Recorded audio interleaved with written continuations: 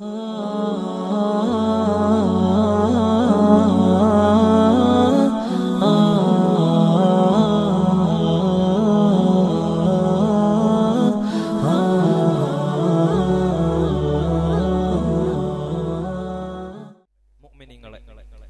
പ്രധാനപ്പെട്ട ഒരു വിഷയമാണ് ഇന്നത്തെ ഖുത്ബ. അസാബിക്കൂൻ അസാബിക്കൂൻ. ഖിയാമത്ത് നാളിൽ അള്ളാഹു സുബ്ഹാനഹു തആല ജനങ്ങളെ മുഴുവനായിട്ട് മൂന്ന് വിഭാഗങ്ങളാക്കി തിരിക്കും ഖിയാമത്ത് നാളിൽ അള്ളാഹു ജനങ്ങളെ മൂന്ന് വിഭാഗങ്ങളാക്കി തിരിക്കും അതാണ് സൂറത്തുൽ വാക്യയിൽ അള്ളാഹു പറയുന്നത് സലാസ. നിങ്ങളെ മൂന്ന് വിഭാഗങ്ങളാക്കി അള്ളാഹു തിരിക്കുമെന്ന് സൂറത്തുൽ വാക്യയിൽ പറയും. ഏതാണ് ആ മൂന്ന് വിഭാഗം? അത് മാത്രമാണ് ഇന്നത്തെ ചർച്ചാ വിഷയം. ഒന്നാമത്തെ വിഭാഗം പറഞ്ഞു വകുന്തും അസ്വാജൻ സലാസ മൂന്ന് വിഭാഗങ്ങളാക്കിക്കൊണ്ട് നിങ്ങളെ നാം ഖിയാമത്ത് നാളിൽ തിരിക്കും. ലോക ജനങ്ങളെ മൂന്ന് വിഭാഗങ്ങളാക്കി തിരിക്കും. അതേതാണ്? ഒന്നാമത്തെ വിഭാഗം അസ്ഹാബുൽ യമീൻ. മാ അസ്ഹാബുൽ യമീൻ. ഒന്നാമത്തെ വിഭാഗം വലതുപക്ഷക്കാരാണ് അള്ളാഹു ആ കൂട്ടത്തിൽ നമ്മൾ ഉൾപ്പെടുത്തട്ടെ. എന്ന് പറഞ്ഞാൽ വലത് കൈയിൽ കിതാബ് നൽകപ്പെടുന്ന ഒരു കൂട്ടരുണ്ടാകും. അള്ളാഹു ആ കൂട്ടരിൽ നമ്മെ അള്ളാഹു ഉൾപ്പെടുത്തി അനുഗ്രഹിക്കട്ടെ. ചില ആയത്തുകളെ ഇത്തരം വലത് കൈയിൽ കിതാബ് നൽകപ്പെടുന്ന കൂട്ടരെ സംബന്ധിച്ച് പറയുന്ന നിരവധി ആയത്തുകൾ പരിശുദ്ധ ഖുർആാനിലുണ്ട്. അവിടെയൊക്കെ പറയുന്നത് കാണാം ഇത്തരക്കാരുടെ ആഹ്ലാദവും ഇത്തരക്കാരുടെ സന്തോഷവും ഖുർആൻ അടിവരയിട്ട് പറയുന്നുണ്ട്. വലത് കൈയിൽ കിതാബ് നൽകപ്പെടുന്നവര് നാളെ മഅ്ശറ വൻസഭയിൽ വെച്ചുകൊണ്ട് ആർത്തട്ടഹസിക്കും തു- തുള്ളിക്കളിക്കുമെന്ന സന്തോഷം കൊണ്ട്. സന്തോഷം കൊണ്ട് അവർ തുള്ളിക്കളിക്കും.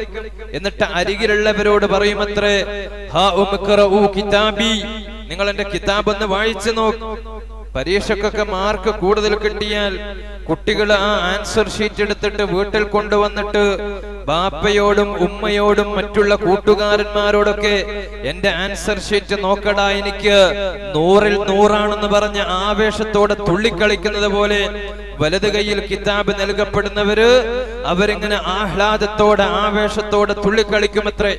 എന്നിട്ട് അവർ പറയും എന്റെ കിതാബ് നോക്ക്. ഇത് എന്റെ കിതാബ് എന്റെ വലത് കൈയിൽ തന്നെയാണ് നൽകപ്പെടുക എന്ന് എനിക്ക് നേരത്തെ അറിയാമായിരുന്നു. കാരണം ഞാൻ ദുനിയാവിൽ ജീവിക്കുമ്പോ ഞാൻ പലതും എല്ലാം എല്ലാം പടച്ച തമ്പുരാന്റെ നിയമ സംവിധാനങ്ങൾക്ക് വിധേയമായി ജീവിച്ചയാളാണ് ഞാൻ.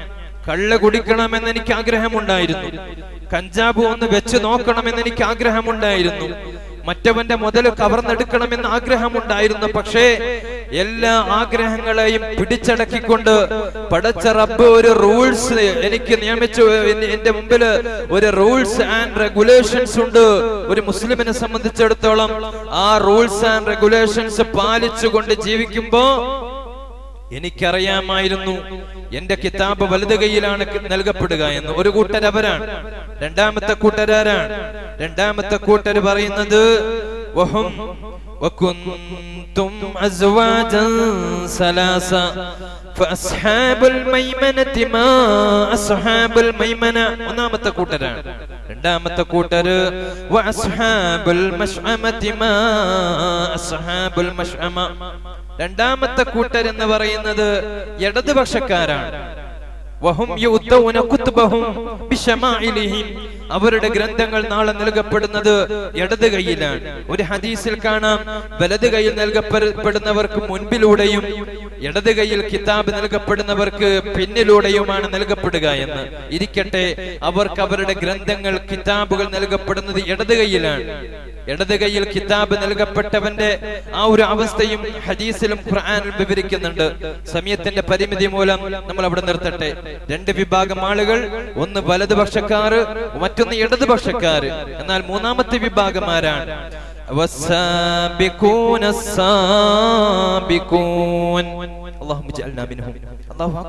പെടുത്തട്ടെ. ആ നമ്മളെ പെടുത്തട്ടെ.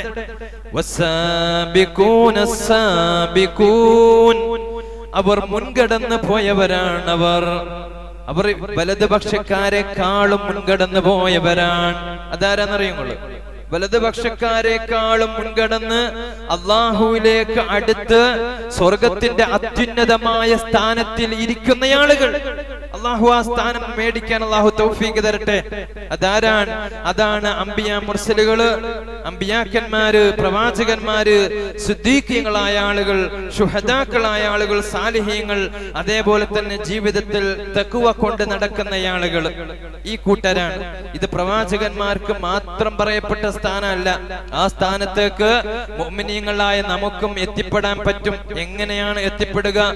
വഹും യുസാരി ഖൈറാത്ത്. ബഹുമാനപ്പെട്ട അലിയുബിൻ അബി ത്വാലിബ് റളിയല്ലാഹു തങ്ങൾ പറയുന്നുണ്ട് വസാബിക്കൂന സാബിക്കൂൻ എന്ന ആയത്തിനെ വ്യാഖ്യാനിച്ചുകൊണ്ട് മഹാൻ പറയുന്നത് സ്വർഗത്തിന്റെ അത്യുന്നതമായ പദവിയിലേക്ക് എത്തുന്നവരാണ് അസാബിക്കൂൻ അസാബിക്കൂൻ എന്ന് പറയുന്നത്. വഹും അവർ ദുനിയാവിൽ നന്മയിലേക്ക് ഉളരുന്ന ആളുകളാണ്. എന്നിട്ട് അലിയുബിൻ അബി താലിബ് റളിയല്ലാഹു ഞങ്ങൾ പറയാണ് ഒന്നാമതായി കൊണ്ട് ബാങ്ക് കൊടുക്കുമ്പോ ഒന്നാമതായി കൊണ്ട് ബാങ്ക് കൊടുക്കുമ്പോ അള്ളാഹുവിന്റെ പള്ളിയിലേക്ക് ഉണരുന്ന ആളുകളാണ്. ഹബീബാന പ്രവാചകൻ പറയുന്നു ലൗ ലൗ ബാങ്കിന്റെ ശ്രേഷ്ഠത ഒരാൾ അറിയുമായിരുന്നുവെങ്കിൽ അതേപോലെ തന്നെ ഒന്നാമത്തെ സഫിന്റെ ശ്രേഷ്ഠതയും ഒരാൾ അറിയുമായിരുന്നുവെങ്കിൽ അവർ പരസ്പരം മത്സരിക്കുമായിരുന്നു. എന്നിട്ട് മത്സരിച്ചിട്ട് എത്തിയിട്ടില്ല. ഒരാൾ പരസ്പരം ബാങ്കിന്റെ ശ്രേഷ്ഠതയും ഒന്നാമത്തെ സെഫിന്റെ ശ്രേഷ്ഠതയും ഒരാൾ അറിഞ്ഞി അറിഞ്ഞിരുന്നുവെങ്കിൽ അവർ പരസ്പരം മത്സരിക്കുമായിരുന്നു. മത്സരിച്ചിട്ട് എല്ലാവരും കൂടി ഒപ്പരെത്തിയാലോ? എല്ലാവർക്കും ഒപ്പരം ഇരിക്കാൻ പറ്റില്ലല്ലോ. അപ്പൊ അവർ അവർ നറുക്കെടുക്കുമായിരുന്നു അവർ നറക്കെടുക്കും. അങ്ങനെ ഒരു സ്ഥിതി വിശേഷം വരികയാണെങ്കിൽ നിങ്ങൾ അതിന്റെ മേൽ നറുക്കെടുത്തോ. എന്നിട്ട് നിങ്ങൾ ആ സ്ഥാനം നിശ്ചയിച്ചു കൊള്ളുക. അത്രയ്ക്ക് പ്രതിഫലമാണ് ഒന്നാമത്തെ സഫിനും ബാങ്കിനും ഉള്ളത് ബാങ്കിനെ സംബന്ധിച്ചിടത്തോളം നമ്മുടെ സോഷ്യൽ മീഡിയയിൽ ഒരാഴ്ചയായിക്കൊണ്ട് വല്ലാത്ത ചർച്ച ചെയ്തുകൊണ്ടിരിക്കുകയാണ്. വല്ലാതെ ചർച്ച ചെയ്തുകൊണ്ടിരിക്കുകയാണ് ബാങ്കിനെ സംബന്ധിച്ചിടത്തോളം. നമ്മുടെ കുറ്റിയാടിക്കാരിയായ ഒരു ഒരു എം ബി ബി എസ് ഡോക്ടറും കൂടെ ഐ എ എസും ഉള്ള ഒരു മുസ്ലിം പെണ്ണ് ഞാൻ ഒരുപാട് അഭിമാനം കൊണ്ടിരുന്നു. പല വേദികളിലും ആ സ്ത്രീയെ കുറിച്ചിട്ട് ഞാൻ ഒരുപാട് അഭിമാനത്തോടെ പ്രഭാഷണം നടത്തിയിട്ടുണ്ട്. ഒരു മുസ്ലിം പെണ്ണ് മെഡിക്കൽ ഡോക്ടറാവുകയും തുടർന്ന് ഐ എ എസ് പരിശ്രമിച്ച് ഐ എ എസ് നേടിയെടുത്ത് ഒരു ജില്ലയുടെ ഭരണം ഏറ്റെടുക്കാൻ പാകത്തിന് ഒരു മുസ്ലിം പെണ്ണ് വന്നപ്പോ വല്ലാത്ത അഭിമാനം കൊണ്ടയാളാണ്. പക്ഷേ ഈ ആഴ്ചയുടെ തുടക്കത്തിൽ ഒരു പൊതുപരിപാടിയിൽ വെച്ചുകൊണ്ട് ആ പെണ്ണ് പറഞ്ഞത് എന്നെ വല്ലാതെ വേദനിപ്പിച്ചു പോയി പൊതുപരിപാടിയിൽ പ്രസംഗിച്ചു കൊണ്ടിരിക്കെ ബാങ്ക് കൊടുക്കുന്നു. ഒന്നാമത്തെ ബാങ്കിൽ നിർത്തിയെന്നും ഇല്ല എന്നും പറയപ്പെടുന്നു. അള്ളാഹു ആലം ഇരിക്കട്ടെ. പിന്നീട് വേദിയിൽ നിന്ന് ആരോ ഒരാൾ പ്രസംഗം തുടരുക എന്ന് പറഞ്ഞിട്ട് അവൾ വന്നിട്ട് തന്റെ പ്രഭാഷണം വീണ്ടും തുടരുന്നു. അത് പ്രഭാഷണം നേരത്തെ പറഞ്ഞു വെച്ചതിന്റെ ബാക്കിയല്ല. അതിനപ്പുറത്ത് അവൾ അദ്ദേഹം അവൾ പറയുന്നത് ഈ നിക്കാണ്ട് പല സ്ഥലങ്ങളിലായിക്കൊണ്ട് ഇങ്ങനെ ബാങ്ക് കൊടുക്കുമ്പോ അത് വോയിസ് പൊല്യൂഷന് കാരണമാകുകയാണ്. ശബ്ദ മലിനീകരണത്തിന് കാരണമാകുന്നു എന്ന് പറഞ്ഞിട്ട് എല്ലാ പള്ളികളിലെ ബാങ്ക് ഒന്ന് ഏകീകരിക്കണമെന്നും ഇത്തരം ബാങ്കിന്റെ എല്ലാ പള്ളിയിൽ നിന്നും ബാങ്ക് കൊടുക്കേണ്ട ആവശ്യമില്ല എന്നൊക്കെ പറഞ്ഞുകൊണ്ട് ചുറ്റുഭാഗത്തുനിന്നും ബാങ്ക് കൊടുക്കുന്ന അതേ സമയത്ത് അവൾ ഇങ്ങനെ കത്തിക്കയറി പ്രഭാഷണം നടത്തുമ്പോ വല്ലാതെ ഖേദമായി പോയി ആ പെണ്ണിനെ സംബന്ധിച്ചിടത്തോളം. ആ പെണ്ണിനെ സംബന്ധിച്ചിടത്തോളം വല്ലാതെ വല്ലാതെ ഖേദമായി പോയി. എന്തേ കാരണം? പരിശുദ്ധ ഇസ്ലാമിന്റെ ഒരു വിധിവിലക്കുകൾ പറയാൻ ലോകത്ത് ഒരു ഐ എസ് കാരനും സാധ്യമല്ല. അത് പണ്ഡിതന്മാരാ പറയേണ്ടത്. എപ്പോഴും സൂചിപ്പിക്കുന്നുണ്ടത്. രാഷ്ട്രീയക്കാരോടാണെങ്കിലും അത് എത്ര വലിയ അത്യുന്നത പദവിയിലിരിക്കുന്നയാളോടാണെങ്കിലും ഒക്കെ പറയാറുണ്ട്. ദീന് പറയാൻ ഇവിടെ പണ്ഡിതന്മാരുണ്ട്.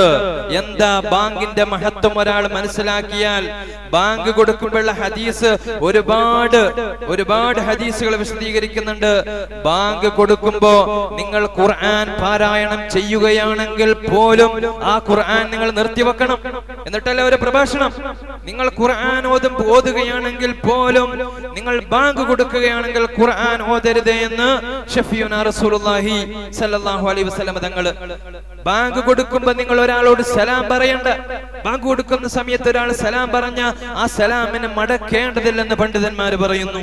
ബാങ്ക് കൊടുക്കുന്ന സമയത്തിന് പ്രാധാന്യമുണ്ട്.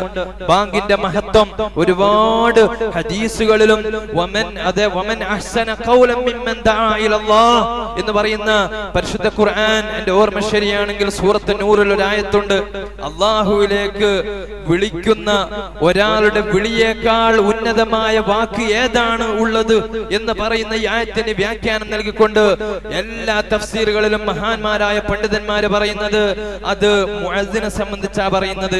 ബാങ്ക് കൊടുക്കുന്നതിനേക്കാൾ ശ്രേഷ്ഠമായ ഒരു കലാമില്ല. ബാങ്ക് കൊടുക്കുന്നതിനേക്കാൾ പുണ്യമായ മറ്റൊന്നില്ല. അതുകൊണ്ട് പറയുന്നത് അത് നമ്മുടെ ആക്കിബത്തിനെ തന്നെ മോശമാക്കി തീരും നമ്മൾ ബാങ്ക് കൊടുക്കുമ്പോൾ സംസാരിച്ചാൽ അത് നമ്മുടെ ആക്കിബത്തിന് മോശമാവുമെന്ന് പണ്ഡിതന്മാർ രേഖപ്പെടുത്തി വെച്ചിട്ടുണ്ട്. അതുകൊണ്ട് ആരെങ്കിലും ഒരു പ്രഭാഷണം കേട്ടതിന്റെ പേരിൽ എന്റെ പ്രിയപ്പെട്ടവരെ നിങ്ങൾ അത് പിടിച്ചുകൊണ്ട് നിങ്ങൾ പ്രവർത്തിക്കാൻ നിൽക്കരുത്. നമ്മൾ ഇന്നേ വരെ ചെയ്തു പോകുന്നത് ബാങ്ക് കൊടുക്കുമ്പോൾ മിണ്ടാതിരിക്കും. ബാങ്ക് കൊടുക്കുമ്പോൾ നമ്മൾ ആരും മിണ്ടാറില്ല. അതാണ് ഇന്ന് വരെ നമ്മൾ ചെയ്തു പോകുന്നത്. അത് അങ്ങനെ തന്നെ നമ്മൾ മുന്നോട്ട് പോകണം. അത് നമ്മളുടെ ആക്കിബത്തിന് നല്ലതാണ്. അള്ളാഹു നമ്മുടെ ആക്കിബത്ത് നന്നാക്കി തരട്ടെ. അള്ളാഹു ആക്കിബത്ത് നന്നാക്കി തരട്ടെ. പറഞ്ഞു വന്നത് നിങ്ങൾക്ക് സാബിക്കൂന് സാബിക്കൂന് എന്ന അത്യുന്നത പദവിയിലേക്ക് എത്തണമെങ്കിൽ ബാങ്ക് കൊടുത്താൽ പിന്നെ ഒരു ചിന്തയും ഉണ്ടാവാൻ പാടില്ല. നേരെ ഒന്നാമത്തെ സെഫും കാംക്ഷിച്ചുകൊണ്ട് നിങ്ങൾ വന്നുകൊള്ളണം. ഒന്നാമത്തെ സെഫും തേടിക്കൊണ്ട് പള്ളിയിലേക്ക് ഓടിക്കൊള്ളണം. കൽബുഹു മുഅല്ലക്കും ബിൽ മസാജിദ്. എപ്പോഴും ബാങ്ക് കൊടുക്കുന്ന ആകാംക്ഷയോടെ കേൾക്കണം. കേട്ട് കഴിഞ്ഞാൽ ഉടൻ നിങ്ങൾ പള്ളിയിലേക്ക് ഓടിയെത്തണം എന്ന് ഷഫിയുന റസൂലുള്ളാഹി സല്ലല്ലാഹു അലൈഹി ഇത്തരക്കാര് അസ്സാബിഖൂൻ നാളെ അംബിയ മുർസലീങ്ങളുടെ കൂടെ സ്വർഗത്തിലാണ്. സ്വർഗത്തിന്റെ അത്യുന്നത പദവിയിലാണ്. അള്ളാഹു തോഫിക്ക് തരട്ടെ. ഞാൻ അവസാനിപ്പിക്കട്ടെ. രണ്ടേ രണ്ട് കാര്യം ഈ ഉന്നതമായ പദവിയിലേക്ക് നമുക്ക് എത്തണമെങ്കിൽ രണ്ട് കാര്യമാ ചെയ്യേണ്ടത്. ദുനിയാവിൽ എല്ലാ നന്മകൾക്കും മുൻപന്തിയിൽ ഉണ്ടാവണം. എല്ലാ നന്മകളും മുൻപന്തിയിൽ ഉണ്ടാവണം. ഏതുപോലെ? അവനെത്രയാണ് പിരിവ് കൊടുക്കുന്നത്? അയാൾ എത്രയാ കൊടുക്കുന്നത് അത് നോക്കിയിട്ട് ഞാൻ കൊടുക്കാം എന്ന് നിങ്ങൾ കൊടുക്കേണ്ടില്ല അയാൾക്ക് പത്ത് ലക്ഷം കൊടുക്കാൻ കഴിയുമെങ്കിലും നമ്മൾ കൊടുക്കുന്ന ആയിരത്തിനാണ്. അത് ആദ്യം കൊടുത്താൽ അതിനാണ് പതിമടങ്ങ് പ്രതിഫലമുള്ളത്. അതുകൊണ്ട് വസാരിയോയിലും എല്ലാ നല്ല കാര്യത്തിനും മുൻപന്തിയിൽ ഉണ്ടാവണം. എല്ലാ നല്ല കാര്യത്തിനും മുൻപന്തിയിൽ ഉണ്ടാവണം. അതിലാണ് ഹയർ ഹബീബാന പ്രവാചകൻ അതിന് ഒരുപാട് പ്രോത്സാഹനം നൽകിയിട്ടുണ്ട്. ഒരിക്കൽ നിബിതങ്ങൾ പറഞ്ഞു എഴുപതിനായിരം ആളുകൾ ഹിസാബില്ലാതെ വിചാരണയില്ലാതെ സ്വർഗത്ത് പോകുമെന്ന് പറഞ്ഞു. ഇത് കേട്ട ഉടനെ തന്നെ സദസ്സിൽ നിന്ന് ഒരു സഹാബി എഴുന്നേറ്റുകൊണ്ട് ചോദിക്കുന്നുണ്ട് യാ റസൂലുള്ള യാ റസൂലുള്ള? ഞാൻ നബിയെ. ഉടനെ തന്നെ ആവേശം കൊണ്ട് സഹാബിയെ ചോദിച്ചു പോയതാണ്. ഉടനെ തന്നെ നബി തങ്ങൾ പറഞ്ഞു വാന്തമിൻ ഹുന്നി അവരിൽപ്പെട്ടവനാണ്. രണ്ടാമതൊരാൾ എഴുന്നേൽക്കുമ്പോ നബി കഴിഞ്ഞു ബസ് കഴിഞ്ഞു. ആദ്യം നിങ്ങൾ നന്മയിലേക്ക് മറ്റൊരാളെ കാത്തിരിക്കേണ്ട ആവശ്യമില്ല നിങ്ങൾ ഉളരുക. പ്രവാചകൻ ഒരിക്കൽ വനിതാ സഹാബത്ത കിറാമിന് ക്ലാസ് എടുക്കുന്ന അവസരത്തിൽ പ്രവാചകൻ പറയുന്നു നിങ്ങളിൽ നിന്ന് ആരെങ്കിലും ആരുടെയെങ്കിലും മൂന്ന് കുട്ടികൾ മരിച്ചു പോയാൽ ആ ഉമ്മ സ്വർഗത്തിലാണ്. ഉടനെ തന്നെ ഒരു പെണ്ണ് കരഞ്ഞു. പെണ്ണ് ഉടനെ തന്നെ എഴുന്നേറ്റ് ചോദിക്കുന്നു യാ റസൂലല്ലാ നബിയെ രണ്ട് കുട്ടികൾ മരിച്ചാലോ? വഅൻതി മിൻഹും നീയും സ്വർഗത്തിലാണ്. പിന്നെ ഒന്നാമത് ഒരു കുട്ടി മരിച്ചാലോ എന്നുള്ള കാര്യത്തിൽ ബസ് കഴിഞ്ഞു. ആരാണോ ആദ്യം ആദ്യം നന്മയിലേക്ക് ഉളരുന്നത്? ആർക്കാണോ അത്യാഗ്രഹമുള്ളത്? അവനെയാണ് പരിഗണിക്കപ്പെടുന്നത്. അവനെയാണ് പരിഗണിക്കപ്പെടുന്നത്. അതുകൊണ്ട് സ്വർഗത്തിൽ അത്യുന്നതമായ സ്ഥാനത്ത് എത്താനുള്ള വഴി ദുനിയാവിൽ എല്ലാ ഹൈറായ കാര്യത്തിൽ മുൻപന്തിയിൽ ഉണ്ടാവുക അള്ളാഹു തൗഫീക്ക് തരട്ടെ. അള്ളാഹു തൗഫീക്ക് തരട്ടെ. ഞാൻ അവസാനിപ്പിക്കട്ടെ. ഇവിടെ അടുത്തുള്ള നമ്മുടെ അടുത്തുള്ള ഒരു മുത്തവല്ലി ഭരണത്തിലുള്ള ഒരു പള്ളിയിൽ ഈ ആഴ്ച ഞാൻ കയറാൻ ഇടയുണ്ടായി ഒരു മുത്തവല്ലി ഭരണത്തിലുള്ള പള്ളിയാണ്. ആ പള്ളിയുടെ പണി നടക്കുന്നുണ്ട്. പള്ളിയുടെ പണി നടക്കുന്നുണ്ട്. ഉസ്താദുമായിട്ട് സംസാരിച്ച ഉസ്താദ് പറഞ്ഞു ഒരാളോടും ഒരു ഒരു ഒരു രൂപ പോലും ഈ പള്ളിയുടെ പണിക്ക് വേണ്ടി വാങ്ങുന്നില്ല. ഒക്കെ ആ മുത്തവല്ലി തന്നെ ഇങ്ങനെ കൊടുക്കാൻ. എന്റെ രോമം എഴുന്നേറ്റ് പോയി. വല്ലാത്തൊരു തൗഫീഖല്ലേ അത്? പണം ഉണ്ടാവുക എന്നുള്ളത് തൗഫീഖല്ല. ഉള്ള പണത്തിൽ നിന്ന് ഉള്ളത് കൊടുക്കുക എന്നുള്ളതാണ് തൗഫീഖ്.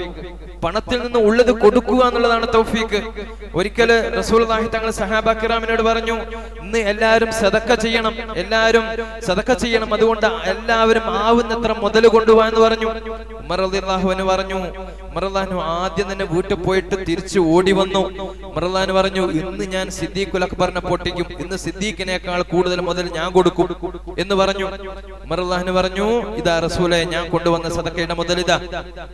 വനിസ്ഫുൻ ഉമറല്ലാനോട് ചോദിച്ചു "നി- നീ നിന്റെ കുടുംബക്കാർക്ക് എന്താ ബാക്കി വെച്ചത്? നീ നിന്റെ വീട്ടുകാർക്ക് എന്തേ ബാക്കി വെച്ചത്? മറല്ലാഹന് പറഞ്ഞു നബിയേ ഞാൻ എന്റെ സമ്പത്തിന്റെ പകുതി ഞാൻ ഈ കൊണ്ടുവന്നു പകുതി ഞാൻ വീട്ടുകാർക്ക് ബാക്കി വെച്ചിട്ടുണ്ട്. അല്ലാഹു പറയാണ് ഇന്ന് ഞാൻ അബൂബക്കർ സിദ്ദീഖിനെ പൊട്ടിക്കും. ഇന്ന് കൂടുതൽ കൊടുക്കുന്ന നാൾ ഞാൻ തന്നെ ആയിരിക്കുമെന്ന്. ഉടനെ തന്നെ അത് അബൂബക്കർ സിദ്ദീഖ് അൻഹു വരുന്നു. അബൂബക്കർ സിദ്ദീഖ് അൻഹു തന്റെ മുതൽ കൊടുത്തു. റസൂൽ ചോദിച്ചു അബൂബക്കറെ നീ എന്താ നീ നിന്റെ കുടുംബത്തിന് വേണ്ടി ബാക്കി വെച്ചത്? അബൂബക്കർ തങ്ങളുടെ മറുപടി മാ അബഖൈതു ലഹും ഇല്ലല്ലാഹ വറസൂല അവർക്ക് വേണ്ടി ഞാൻ ബാക്കി വെച്ചത് അള്ളാഹിനും റസൂലിനെയും മാത്രമാണ് എന്റെ അടുത്തുള്ള എല്ലാ മുതലും ഞാൻ ഇങ്ങ് കൊണ്ടുവന്നിട്ടുണ്ട്. ഞാൻ അവർക്ക് വേണ്ടി മാറ്റി വെച്ചത് അള്ളാഹി റസൂലിനെ മാത്രമാണ് എന്റെ സമ്പത്ത് മുഴുവൻ ഇതാ നബിയെ ഞാൻ കൊണ്ടുവന്നിട്ടുണ്ട്. ഇത് കേട്ടപ്പോ ഉമർ ബിൻ പറയുന്നു യാ യാ നിങ്ങളെക്കാൾ മുൻകടക്കാൻ ഈ ലോകത്ത് ആർക്കും സാധ്യമല്ല അബൂബക്കറെ.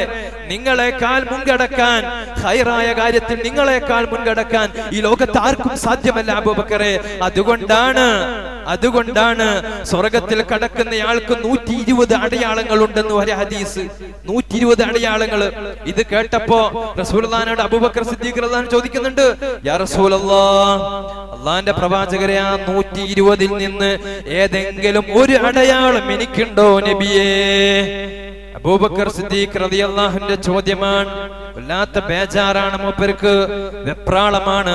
അതിൽ ഏതെങ്കിലും ഒരു അടയാളം എനിക്കുണ്ടോ നബിയേ? അള്ളാന്റെ റസൂലിന്റെ മറുപടി "യാ അബൂബക്കർ നൂറ്റി ഇരുപതിൽ നൂറ്റി അടയാളവും നിങ്ങൾക്കുണ്ട് അബൂബക്കറെ. നിങ്ങൾ എന്തിനാ വിഷമിക്കുന്നത്?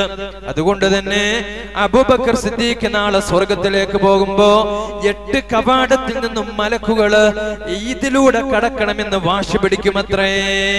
സ്വർഗത്തിന്റെ മുഴുവൻ കവാടങ്ങളിലൂടെയും അബൂബക്കർ സിദ്ദീഖ് റളിയല്ലാഹുവിനു കടക്കാൻ വേണ്ടിയിട്ട് മുഴുവൻ കവാടങ്ങളും തുറന്നു കൊടുക്കും ഇഷ്ടമുള്ളതിലൂടെ കടക്കുക എന്ന് അബൂബക്കർ സിദ്ദീഖ് റളിയല്ലാഹുവിനോട് പറയപ്പെടും. എന്തേ കാരണം? ദുനിയാവിൽ എല്ലാ നന്മയ്ക്കും ആദ്യമായിട്ട് മുന്നിട്ടിറങ്ങുന്നയാളാണ് അബുബക്കർ സിദ്ദീഖ് റതി അൻഹു. ഇസ്രാ മിറാജ് പോയി. ഇസ്രാ മിറാജ് പോയി നബിതങ്ങൾ. ഒട്ടക ബുറാക്കെന്ന ബുറാക്കെന്ന വാഹനത്തിൽ ഇസ്രാ മിറാജ് പോയി തിരിച്ചു വന്നിട്ട് ഒരു രാത്രി നേരം വെളുത്തപ്പം പറയുന്നു ആയിരക്കണക്കിന് കിലോമീറ്റർ അപ്പുറത്ത് നിന്റെ പ്രവാചകൻ പോയി എന്ന സിദ്ദീഖെ പറയുന്നു നീ അത് വിശ്വസിക്കുന്നുണ്ടോ എന്ന്.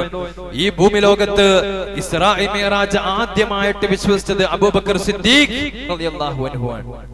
ആദ്യമായിട്ട് വിശ്വസിച്ചത്. ആ അങ്ങനെ പോയോ? ഞാനൊന്ന് ആലോചിക്കട്ടെ. ഞാനൊന്ന് പ്രവാചകനോട് ചോദിക്കട്ടെ എന്നൊന്നല്ല പറഞ്ഞത്. മുഹമ്മദ് നബി അങ്ങനെ പറഞ്ഞിട്ടുണ്ടെങ്കിൽ ആമന്നാ ഞങ്ങൾ അത് വിശ്വസിച്ചിരിക്കുന്നു. സിദ്ദീഖുലപ്പർ ആദ്യം പറഞ്ഞത്. അതുകൊണ്ട് നന്മയായ മുഴുവൻ കാര്യങ്ങളിലും ആദ്യം ആദ്യം ചെയ്യണം. അവനെ അപ്പുറം ഇപ്പുറം നോക്കിയിട്ട് ചെയ്യരുത്. ആദ്യം ചെയ്യണം. ഈ കൂട്ടരാണ് മൂന്നാമത്തെ വിഭാഗം. അവരാണ് സ്വർഗത്തിന്റെ അത്യുന്നതമായ പദവിയിൽ ഉണ്ടാവുക അത്യുന്നതമായ പദവിയിൽ ഉണ്ടാവുക അവരാണ്. അവരുടെ ഒരു അടയാളമാണ് ദുനിയാവിൽ ജീവിക്കുമ്പോ അഞ്ചു വക്ത് ബാങ്കിനും അവർ കറക്റ്റ് ഉത്തരം കൊടുക്കുകയും നേരെ ഒന്നാം സഫിലേക്ക് അവർ എത്തിപ്പെടുകയും ചെയ്യും. അതാണ് ഇന്നത്തെ വിഷയം. വിഷയം അള്ളാഹു നമ്മെ അസാബിക്കൂന എന്ന മൂന്നാമത്തെ ആ വിഭാഗത്തിൽ അള്ളാഹു നമ്മെ എല്ലാവരെയും ഉൾപ്പെടുത്തി അനുഗ്രഹിക്കട്ടെ